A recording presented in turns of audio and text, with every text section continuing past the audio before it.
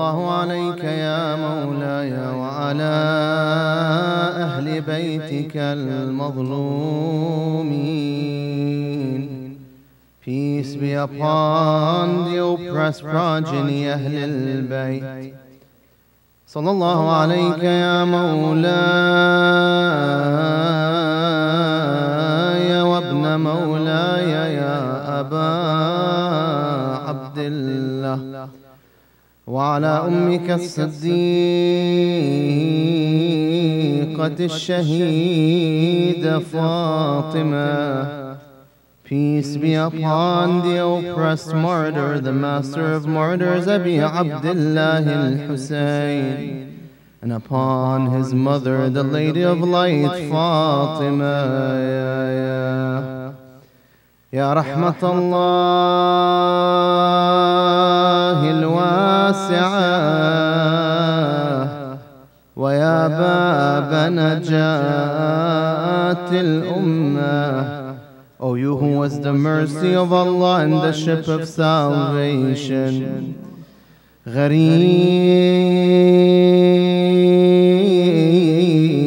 غريب يا مظلوم كربلاء يا ليتنا كنا معكم سادتي فنفوز والله فوزا عظيما.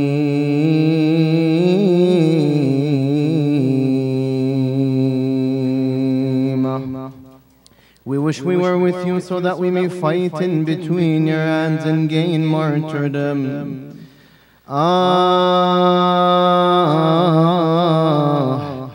when the Prophet Muhammad, peace be upon him, and his family passed away, there was an uproar heard in Medina.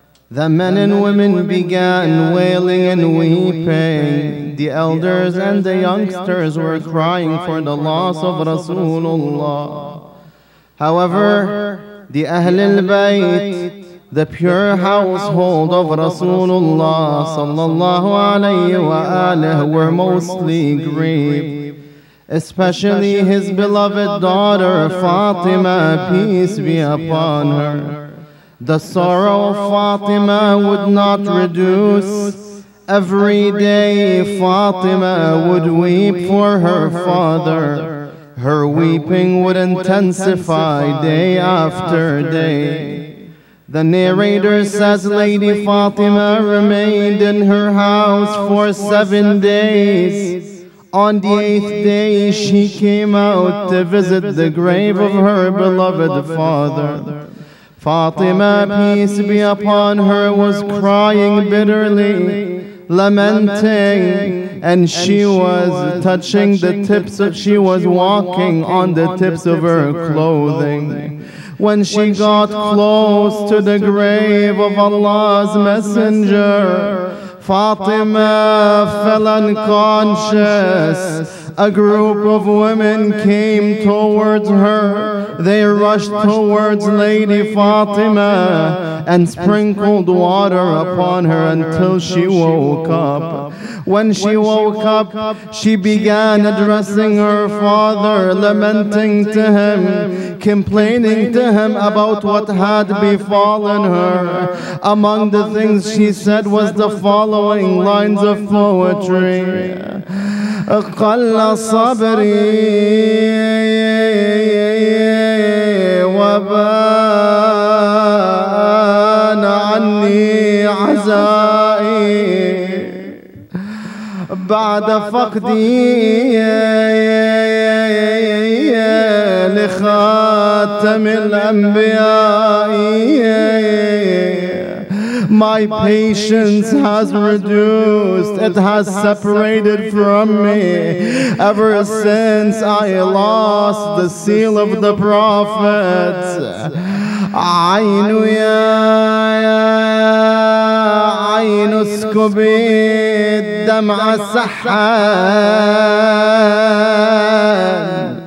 ويك لا تبخلي بفيض الدماء My eye, be generous. My eye, I want you to pour down your tears for the messenger of Allah. In fact, I want you to cry blood instead of tears. آه يا رسول الإله يا خيرة الله. ويا كهفال وكهف الأيتام والضعفاء O messenger of God, O you who was chosen by Allah, O you who was the caretaker of the weak and the orphans. What do you want to tell him, O Fatima? لو ترى المنبر الذي كنت تعلو.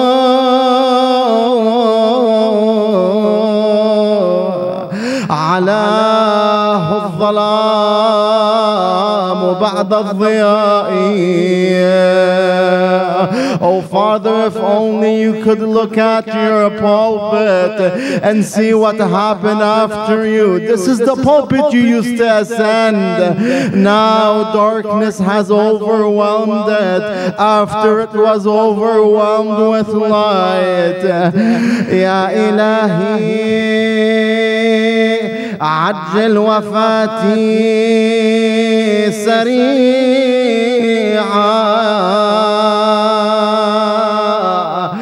قد تنغصت الحياة يا مولاي. She turned, to Allah, saying, Oh, oh my God, my God, bring, bring my death near. Life has become very disturbing, oh, oh my Master.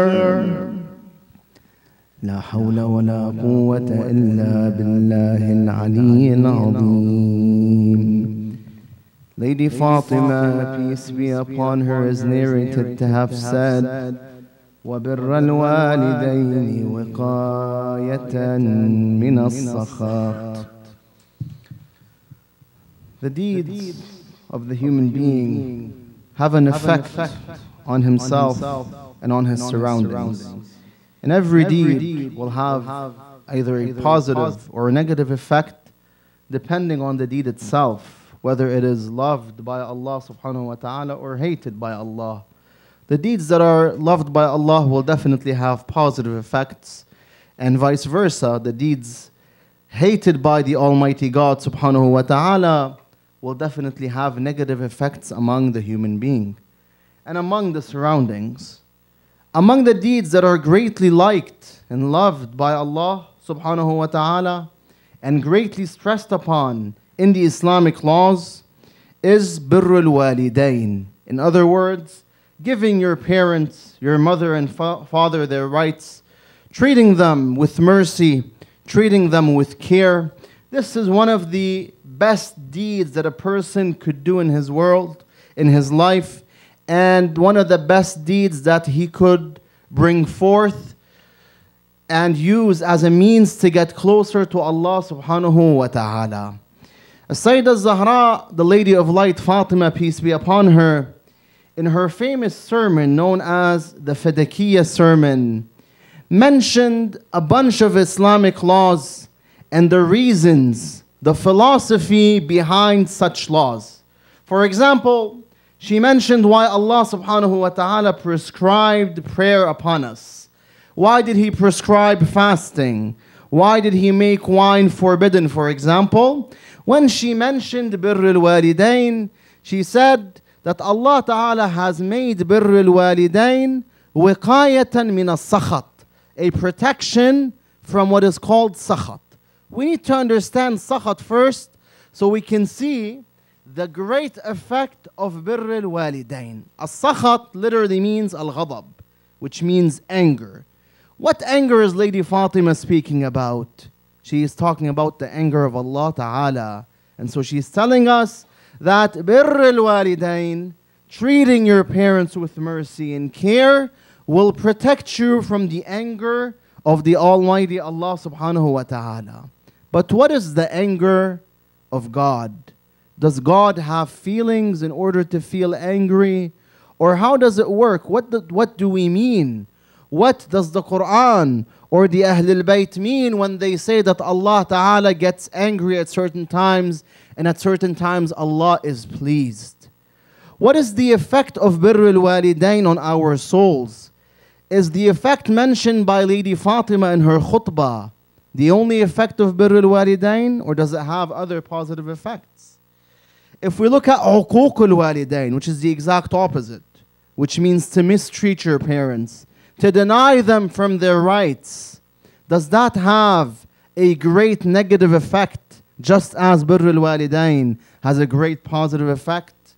Are we expected to perform Birrul Walidain only when our parents are alive or also after they die?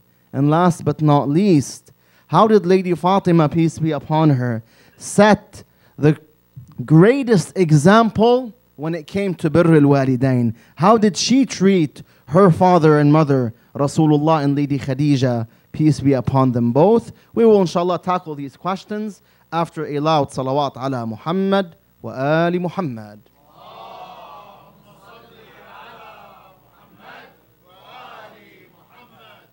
First and foremost, Allah subhanahu wa ta'ala does get angry and Allah does get pleased, as the Quran says and the narrations say.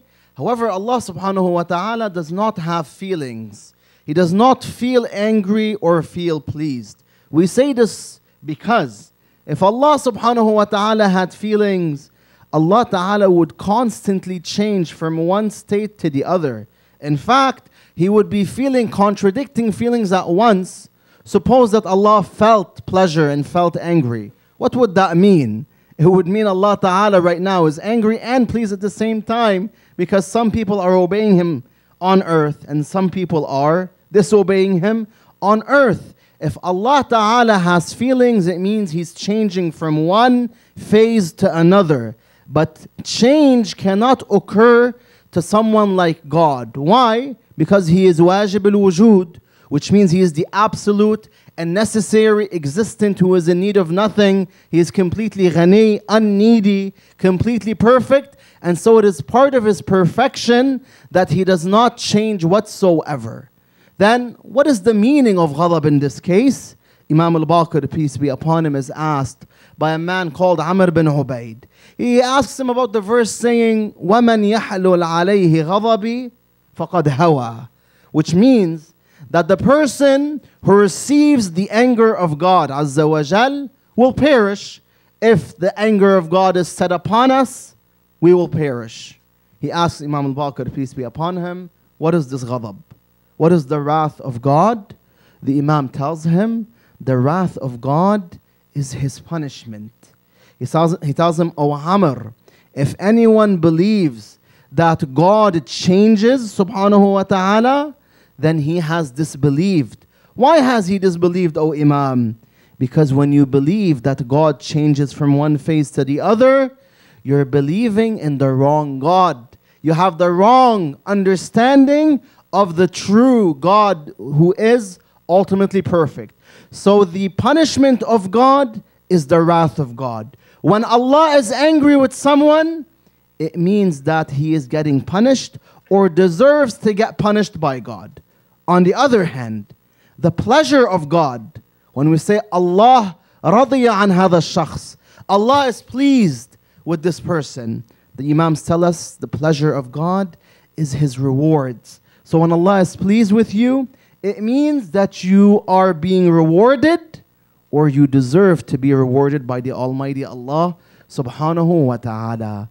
Now, Sayyidah Fatima is telling us what? She's saying,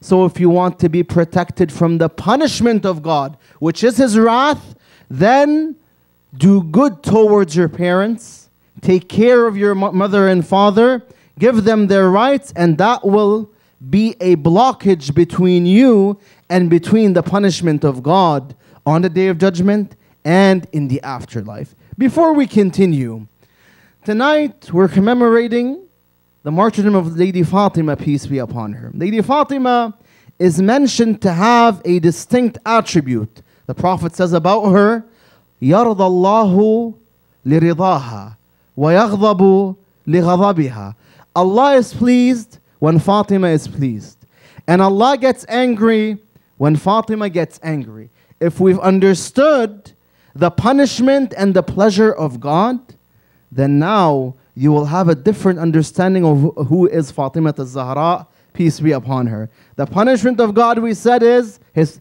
the wrath of God is his punishment. The pleasure of God is his thawab, his rewards, which means that Fatima alayhi salam is the, the scale that God uses to decide whether you go to his punishment or you go to his reward. If you want to be rewarded by him, then please her, peace be upon her. And if you want to be punished by him, then anger her, alayhi salatu wassalam. At this moment, we'll have a better understanding why only Imam Ali alayhi salam was the person that is suitable to marry Lady Fatima al-Zahra. Why do I say this? Because the lady who is at a point where Allah will decide whether you go to hell or heaven based on her pleasure or her anger can only have a man.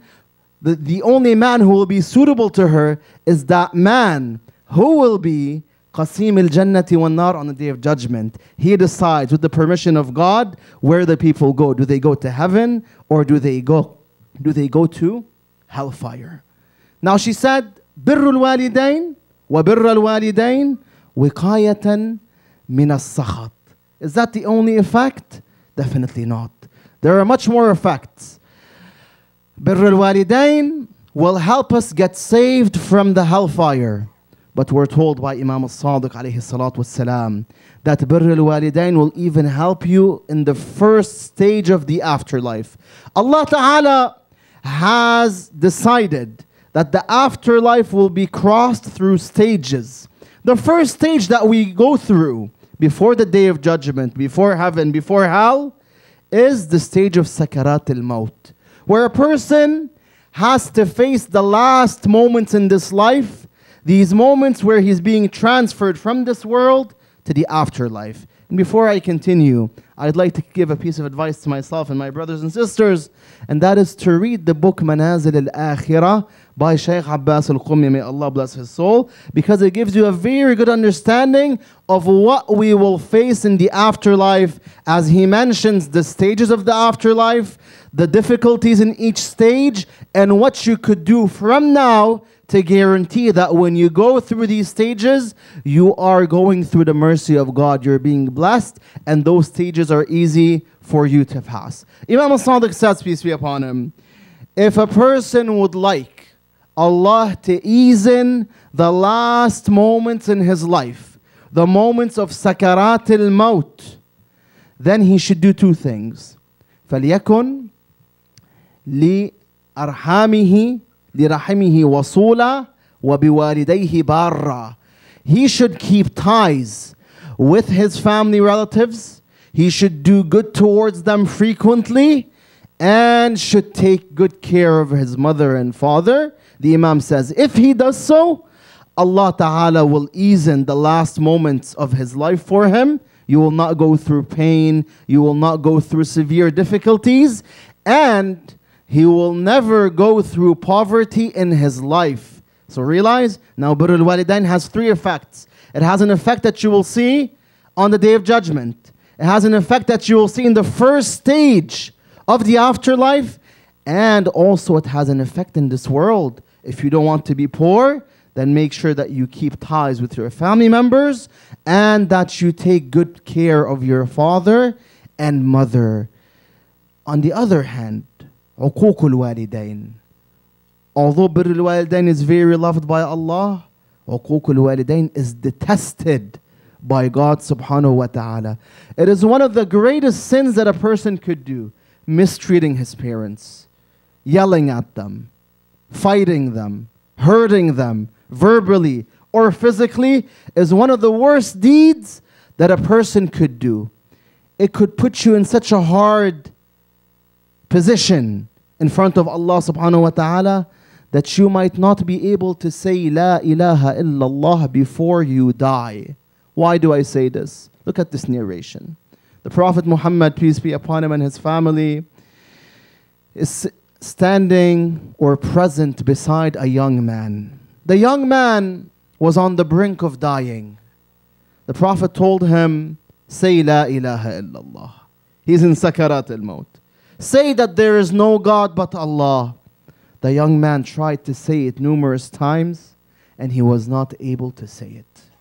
The Prophet addressed the lady that was beside that young man's head. He said to her, Does this man, does this person have a living mother? She said, she said, Yes, and that is me. I am his mother.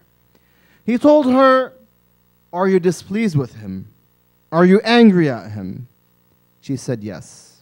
I have not spoken to him for six years. Subhanallah. What has this young man done to his mother? For her not to speak to, him, to avoid speaking with him for six consecutive years. He said, I have not spoken with him, for six years. The Prophet told her, Peace be upon him and his family, be pleased with him. She said, Radiyallahu an, alaykum salam. May Allah be pleased with him because you are pleased with him. At that moment, the Prophet said to him, Say La ilaha illallah. Say there is no God but Allah. He said it. Here, the Prophet told him, What are you seeing? And the Akhirah, brothers and sisters, in the afterlife, we have something called Tajassud al A'mal, where our actions, our deeds, both good and bad deeds, they take forms. So, for example, if you had done a good deed, you'll see it in a very pleasant and nice form. On the other hand, if we had done a bad deed, we'll see it in a very ugly, disturbing form. The Prophet told him, What are you seeing? He said, I'm seeing a man with a shadowy and ugly face. He's wearing dirty clothes.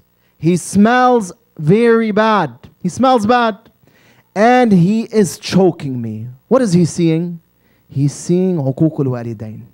He's seeing how he mistreated his mother. The Prophet said to him, Say, Ya man yaqbalu yasir. O you who accepts the small and little deeds. وَيَعْفُو عَنِ الْكَثِيرِ And O you who forgives for the many bad deeds. اقبل مني اليسير. Accept my little small good deeds. وَعَفُ عَنِّي الْكَثِيرِ And forgive me for my many bad deeds. إِنَّكَ الْغَفُورُ الرَّحِيمُ Surely you are the all-forgiving and the all-merciful. He said it. The Prophet told him, Now look, what do you see? He said, Now I see a man who has a shining and beautiful face. He smells good and he's wearing nice clothing. He has come to take care of me, and the man with the shadowy face has turned away. The Prophet told him, Say it again. Repeat the dua. He repeated it, and so he told him, What do you see? He said, Now I only see the man with the, sh- with the shining face, and I see the man with the, I don't see the man with the shadowy face. Finally, he passed away. Now realize, although the greatest creation of God was right beside him, peace be upon him and his family. And he was telling him, Say, La ilaha illallah. Say, there is no God but Allah. He was not able to say it because his mother was angry at him, because his mother was displeased with him. And so this tells you that uquq is not something to be taken lightly, God forbid. A narration says that if a person looks at his mother and, and father while they are oppressing him, he, he looks at them a stare or a gaze of hate, Allah Ta'ala will not accept his deeds. Although they're oppressing him, although they're oppressing him, Allah still wants him to treat them with mercy, to treat them with care, with attention. On the other hand, if you look at your mother and father with mercy, Allah considers that gaze, that look, as ibadah, as worship. One day, Abu Dhar, may Allah bless his soul, he is sitting beside Imam Ali alayhi salatu wasalam. And Imam Ali is praying. And Abu Dhar, Abu Dhar is there looking at the Imam, peace be upon him. He won't set his eyes away from Imam Ali. A narrator tells Abu Dhar, tells him, Abu Dhar, Why is it that I see you? You keep on staring at Ali bin Abi Talib, alayhi salam. Abu Dhar said, I heard the Messenger of Allah say that looking at Ali bin Abi Talib, peace be upon him, is worship, is a worship of Allah.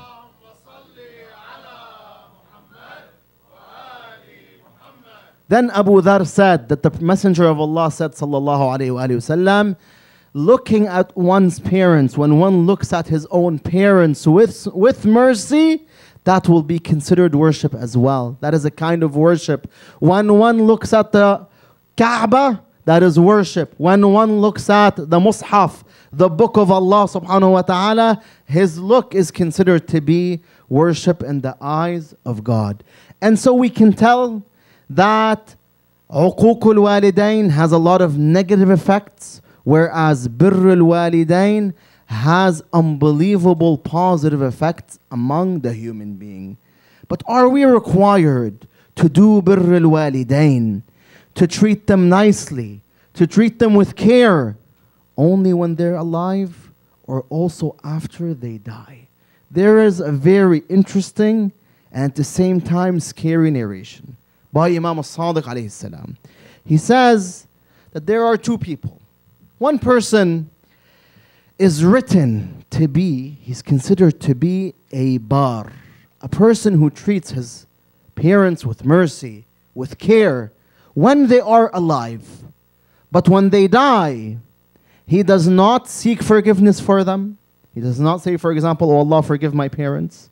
He does not pay their debts and so Allah considers him to be aq. He considers him to, to have mistreated his mother and father.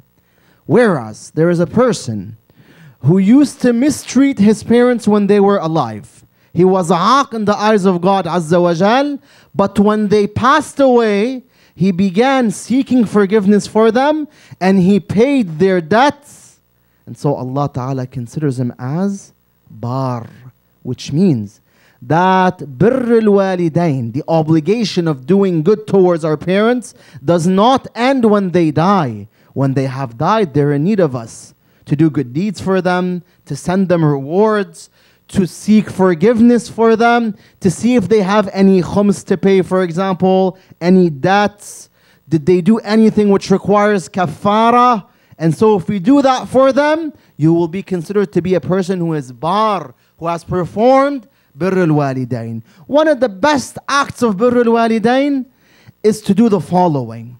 Intend, make a contract between you and Allah Ta'ala. Say ilahi, whether your parents are alive or they're dead. If they're dead, may Allah bless them. And if they're living, may Allah prolong their life. Say ilahi, my God, I want you to send the rewards of my deeds my salat, my fasting, my hajj, every good deed that I do, I want you to send that reward to my mother and father. Imam al-Sadiq tells you, salam, if you do so, they will be rewarded and you will be rewarded. Your reward will not decrease at all. And so every time you're praying, every time you're fasting, every time you're doing good deed, you're performing birr al-walidain in the eyes of God subhanahu wa ta'ala. You're following the footsteps of the Lady of Light, salawatullahi alayha, who started birr al-walidain before she came to this world. How did she start birr al-walidain before she came to the world? Look at this narration, where the Imam tells us when Lady Khadija alayha salam was pregnant with Lady Fatima al-Zahra. Lady Khadija alayha salam was boycotted by the society, unfortunately. Why was Lady Khadija boycotted? Why did the women stop entering upon Lady Khadija?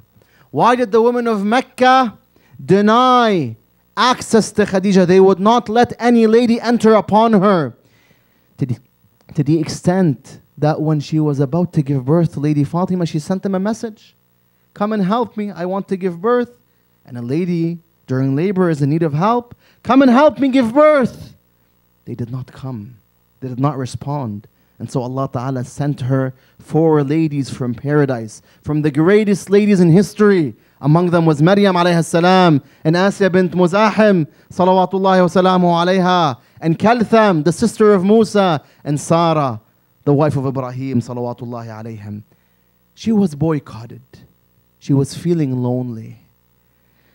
And she was feeling afraid. She was scared for the Prophet Muhammad, peace be upon him, and his family. Do you know why they boycotted her? Because of her support towards Rasulullah sallallahu alaihi wasallam because the best person who could give the Prophet a hard time and who could stand in the face of Islam was his own wife. Khadija bint Khuwaylid, she's living with him in his own house. But Khadija alayhi salam did not aid the enemies of Islam for even a second.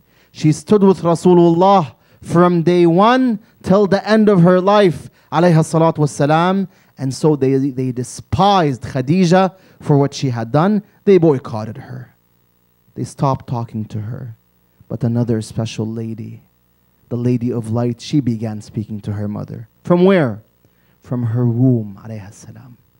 She's inside her mother and she is speaking to her. She would comfort her, keep her company to the extent that one day the Prophet Muhammad enters upon Khadijah he sees Khadija speaking to someone, but no one's in the room.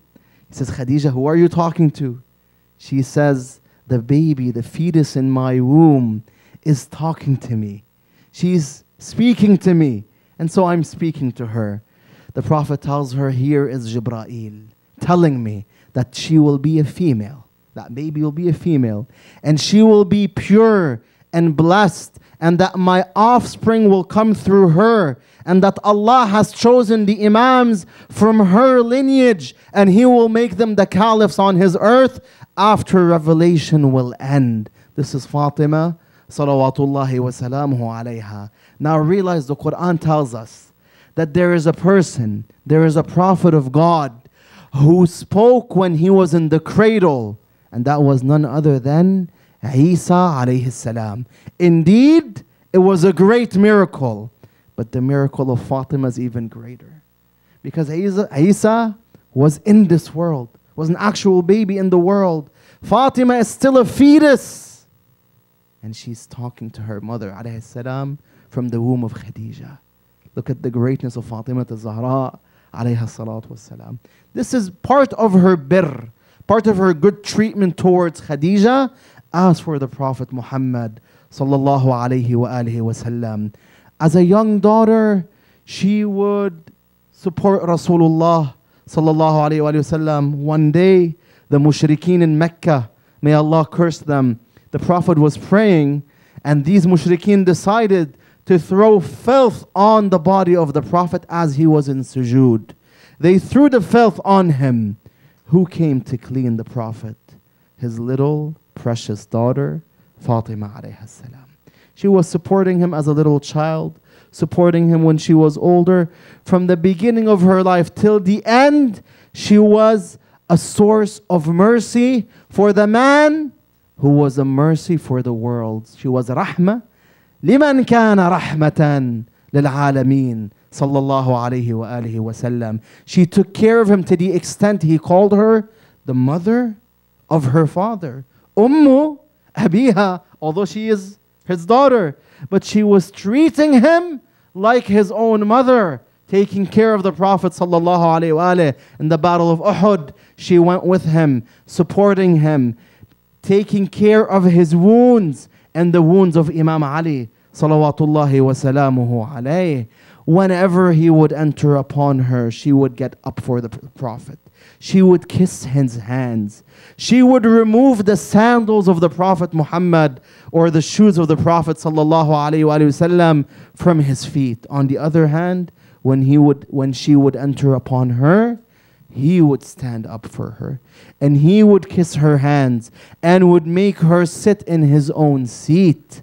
Whenever he was eager to smell the fragrance of Jannah, of heaven, he would smell the neck of Fatima saying كلما اشتقت إلى رائحة الجنة شممت رقبة فاطمة عليها الصلاة والسلام. She would indeed instill happiness on his heart.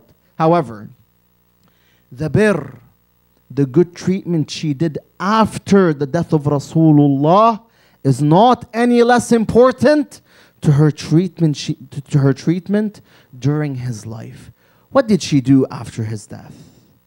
There's two deeds that I want to shed light upon tonight. The first one is that she set an example, a perfect example for the people.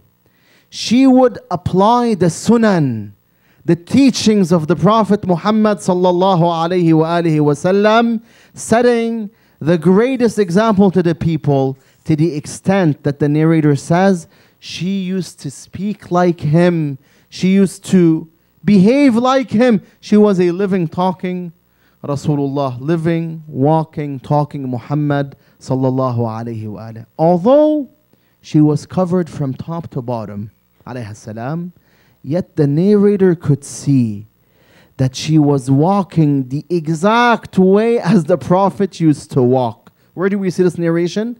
Look at the beginning of Al Khutbah Al Fadakiyah, where the narrator describes how Lady Fatima came out of her house, surrounded with ladies, with full hijab, of course, surrounded with ladies. The narrator says, Ma takhrimu mishyatuha mishyata Rasulullah which means she was walking the exact way as the Prophet used to walk. What is she teaching us by this? She's teaching us, O Muslims, try to abide by the teachings of my father Muhammad sallallahu alaihi wasallam. Try to act in your life the same way the Prophet Muhammad used to act. The second good treatment of Lady Fatima alayhi salam, the second deed that she performed, and that was ultimately important, was that she preserved the real Islam. After the Prophet Muhammad passed away, you know that the, the Islamic community divided into two. One side that followed Abu Bakr bin Abi Quhafa, and one side that followed Imam Ali alayhi salam. The first division in Islam after the Prophet Muhammad was a division concerning Imama, who was the Imam, who was the Khalifa. And this division led to the rest of the divisions you see today. How many divisions do we have in Islam, in the Islamic community, in the Islamic Ummah? We have thousands. All of those started from where? From Imama, from the division in Imama. For this reason, in her khutbah, khutbah al-Fadakiyah, she said what? وَإِمَامَتَنَا أَمَانًا مِنَ الْفُرْقَةِ Allah has made our imamate as a source of safety from division, which means if you abide by our imamate, you will not divide amongst each other. You will stay united. And this is what Allah wants when He says, وَاعْتَصِمُوا بِحَبْلِ اللَّهِ جَمِيعًا وَلَا تَفَرَّقُوا Grab hold to the rope of Allah and do not become divided. Who is the rope of Allah? Imam Ali ibn Abi Talib alayhi salam. Ahl al-Bayt. That's what Allah wants. He wants unity by grabbing hold of Imam Ali. So now there were two sides. And the Lady Fatima alayhi salam, it was upon her to make it clear to the Muslims who was on the right side. Was it the side following Ali or the side following the other individual? Fatima was known. The Prophet had done great work to make Fatima known among the Islamic society. They knew that Fatima was not an ordinary lady. She was the beloved of Rasulullah.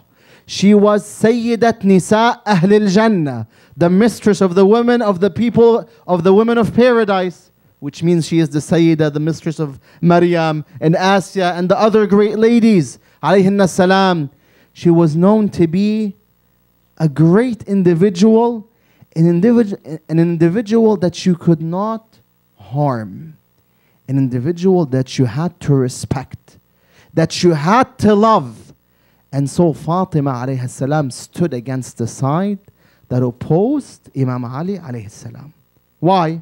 To show the Muslim society, I am Fatima and you know who I am.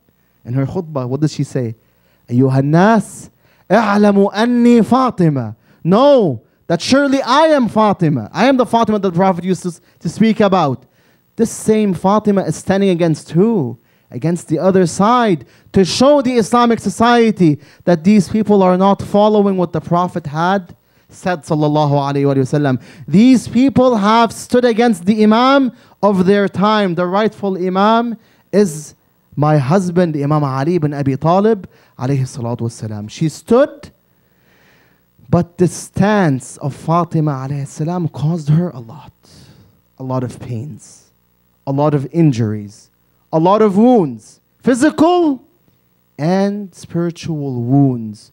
Thus, she sacrificed herself to keep the truth alive as her son Imam al Hussein sacrificed himself and his family in the era of Yazid to keep the true Islam alive. Today, if you bring forth the tragedy of Fatima al-Zahra والسلام, to any Muslim, not mentioning the names of those who oppressed her, you mention to him the incident itself without mentioning the names. Tell him that so and so happened to the daughter of Rasulullah. Are you pleased with such a deed? He will tell you definitely not. But once he finds out who those people were, then he's going to have to take a stance. Will he stand with the daughter of Rasulullah or will he stand with the opposing side? The Prophet made it clear to the Muslims that Fatima wasalam had to be respected, that her house that there was a special sanctity for the house of Fatima to the extent that even the greatest creation, the messenger of Allah, cannot enter unless he seeks permission from his daughter Fatima. Sallu ala Muhammad wa ali Muhammad.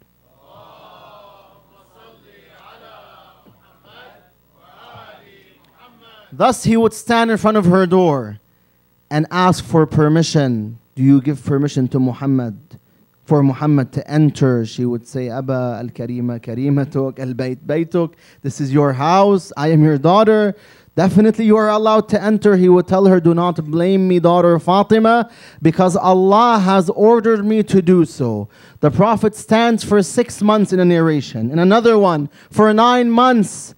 Every Salat al Fajr, he stands on the door of Ali and Fatima. He comes to wake them up for Fajr and he recites the verse إنما يريد الله ليذهب عنكم الرجس أهل البيت ويطهركم تطهيرا Verily Allah wills to remove all impurities away from you and to purify you. A thorough purification. O Ahl al-Bayt. He made it clear to the Muslims that you had to respect Fatima, to respect her house. He said, Babu Fatima Babi. The door of Fatima is my door. If anyone violates the sanctity of Fatima, he will have violated the sanctity of Allah subhanahu wa ta'ala. Yet, the poet says, وعجبا يستأذن الأمين عليهم وَيَدْخُلُ الْخَؤُونُ He says, how amazing. The trustworthy prophet and messenger of Allah seeks permission to enter upon them. But that other man barges in without permission. Naam, after the martyrdom of Rasulullah sallallahu alayhi wa alihi wasallam, Imam Ali remained in his house. He did not pledge allegiance to Abu Bakr. And for this reason, they saw that they were in trouble. They had to get Ali alayhi salam to pledge, to pledge allegiance one way or another. And thus they sent a group of people towards the house of Imam Ali who were led by a man called Qunfuz. They came.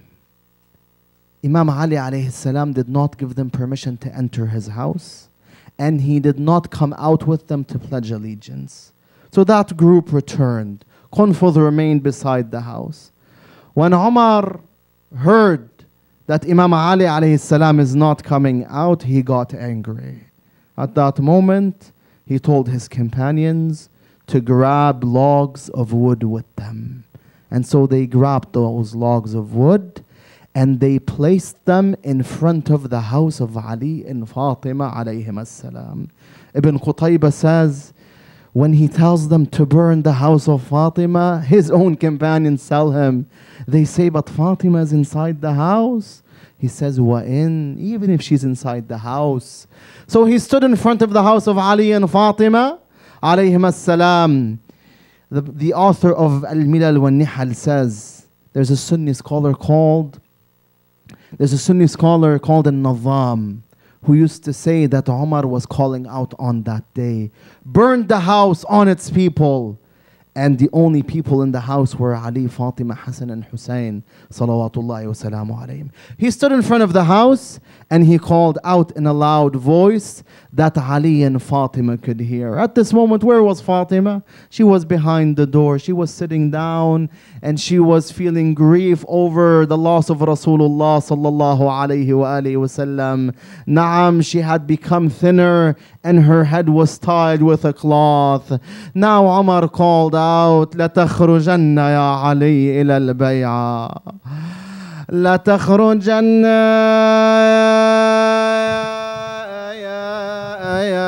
يا علي إلى البيعة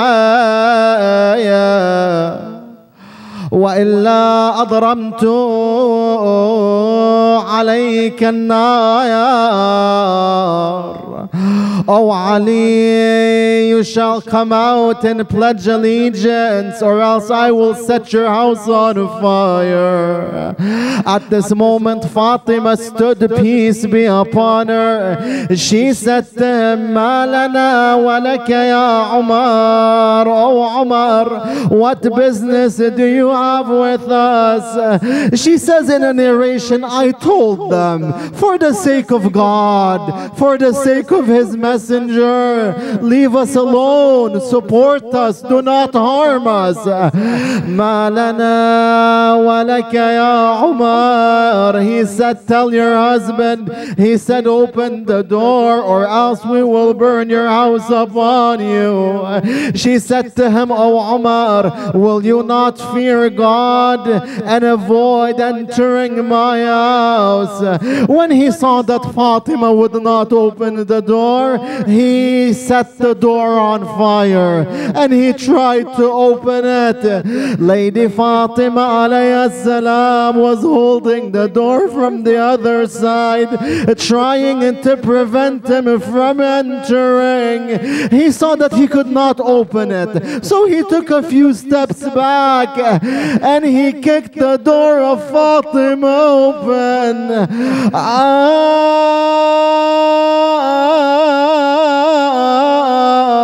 the narrator says he took a sword that was in its scabbard and he struck Lady Fatima on her side.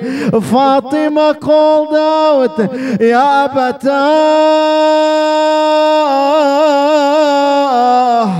Oh Father, then he took a whip and he whipped the forearm of Fatima. Fatima said, Ya Rasulullah, لبئس ما خلفك أبو بكر وعمر. Oh Messenger of Allah, Abu Bakr and Umar have done very bad after you. ولأثر الباقي كمثل الدملجية في عضد الزهراء أقوى الحجج May Allah bless the soul of Sayyid Abu al-Hasan al-Asfahani as he says the mark that was left on the forearm of Fatima is the greatest proof against the enemies of Fatima. Then he slapped Lady Fatima from over her veil. He broke her earring and caused it to fall down. Ah, وجاوزوا الحد بلطم الخدية شلت شلت يد الطغيان والتعدي He says, the poet says, they crossed their limits when they slapped her cheek. May Allah paralyze the hand who slapped that cheek. Ajarakumullah, may Allah greatly reward you. He cornered Lady Fatima, then he crushed her behind the door. Aywa Sayyidataya, uh, he broke the rib of Fatima. A nail pierced through the chest of Sayyida Zahra. Who will, who will she call at that moment? She called out the Prophet, Ya Rasul Allah. أهكذا يفعل بحبيبتك Is this how your beloved daughter should be treated?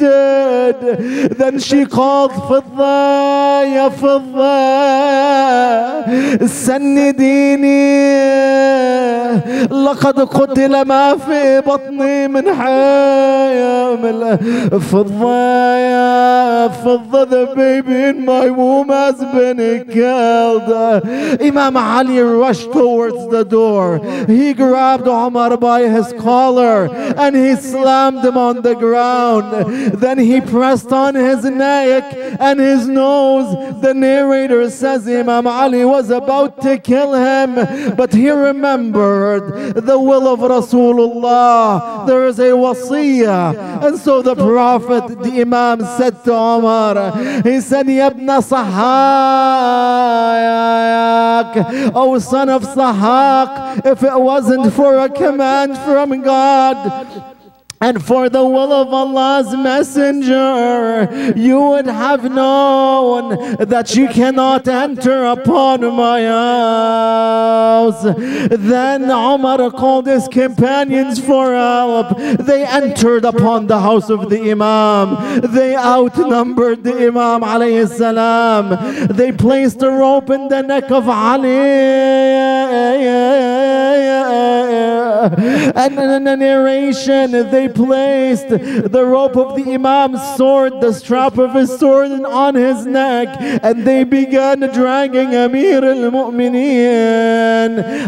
Imama wa Aliya.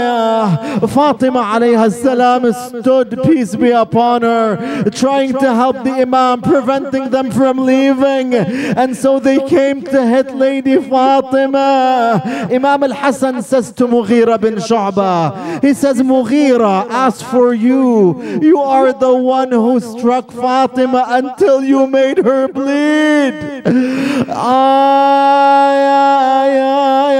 Qunfud came to Sayyida Zahra. He whipped her on her hand again. Na'am, na'am. After being struck by these barbarians, Fatima alayhi salam fell down and began miscarrying Muhsin. Fidda wanted to take Lady Fatima to her chamber, but she was too late. Muhsin was miscarried. Imam Ali was being dragged. Ali was looking right and left and saying, Wa Hamzatah, wala Hamzatani al-yawm. Hamza is not present to help me today. وجعفر ولا جعفر لي اليوم. He says Ja'far is not here to help me.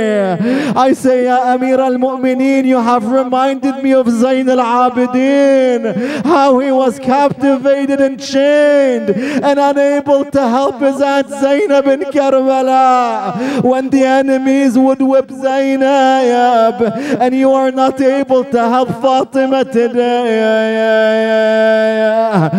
ولي غدا صراخ يا فضة يا صدر عايب صدري عايب وحملي سقط مني بعتبة البياب The poet says Fatima called out Fadda Fadda my chest has been wounded Fadda يا فضة محسن has been miscarried جت فضة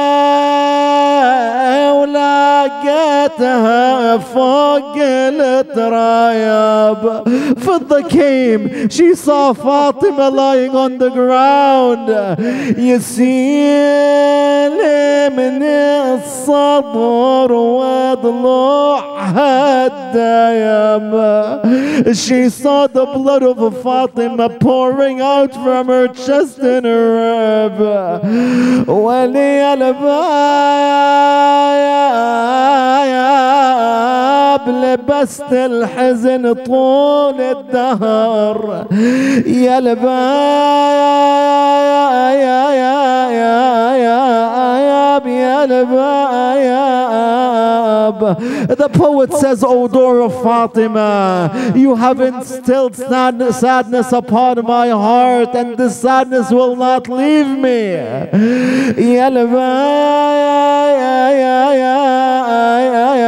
البايب ذهيل وما بقى لي فكر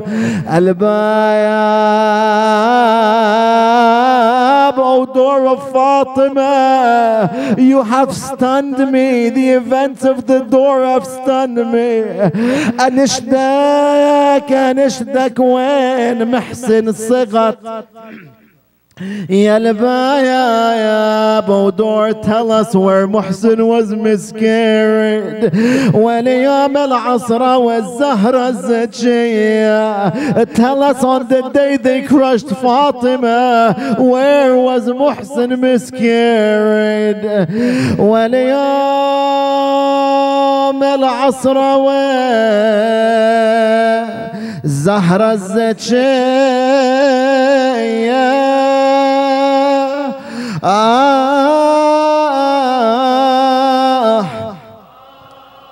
لولا يا لولا سقوط جنين فاطمة لما أودى لها يا في كربلاء جنين. If it wasn't for the day of Fatima, if it wasn't for the broken rib of Fatima, the ribs of Hussein would not have been broken in Karbala. If it wasn't for Muhsin's miscarriage, Abdullah al-Radiya would not have been slain in Karbala. لا حول ولا قوة إلا بالله العلي العظيم وسيعلم الذين ظلموا آل محمد أي منقلب ينقلبون والعاقبة للمتقين. Raise your hands to Allah subhanahu wa ta'ala اللهم إنا نسألك وندعوك بأحب الخلق إليك محمد وعلي وفاطمة والحسن والحسين والتسعة المعصومين من ذرية الحسين. فرج عنا يا الله We ask Allah to hasten the reappearance of Sahib al-Zaman, to forgive us for our sins, to fulfill our needs and to bless us. If anyone has a need from God, ask at the moment and He will answer you inshallah. اللهم بحق باب الحوائج إليك اقضي حاجة كل محتاج لا سيما حاجة من سألنا الدعاء يا الله We ask Allah Ta'ala to heal all those who are sick for the for the sake of Imam Zain al-Abidin salawatullahi wa salamu the sick Imam in Karbala. We ask Allah subhanahu wa ta'ala to bless our deceased family members, all deceased believers, especially the ones that are forgotten and never mentioned. We will send them the rewards of our majlis and the rewards of Surah Al-Fatiha after aloud salawat ala Muhammad wa ali Muhammad.